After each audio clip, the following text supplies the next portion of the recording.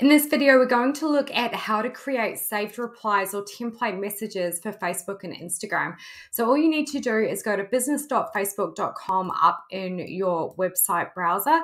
That will then take you through to this new Meta Business Suite. Once you're in here, simply click on inbox on the left hand side, and then that will bring you up all of the messages that you've received, um, both, you know, Instagram, Messenger, etc., etc.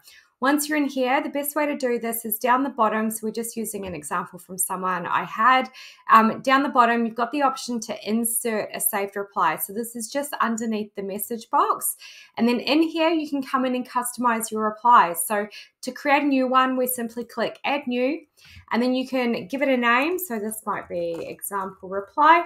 And then in here in the message box, you can start to template your reply. So we can put personalization into these as well. So it might be hi, and then you want to come in here and put the first name, and then, you know, thanks so much for getting in touch. Whatever you want your reply to say. You can also add photos in here as well. You can put in links to websites, Facebook pages, all of those kind of things. Then once you're ready, you simply click save.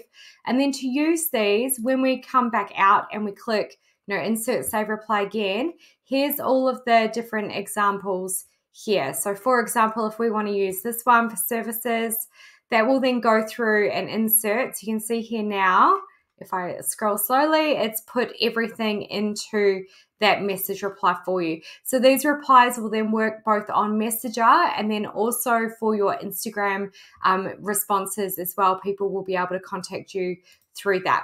So I hope that helps. Um, these will then also be available on the mobile app too. So you'll be able to use it across all of your platforms.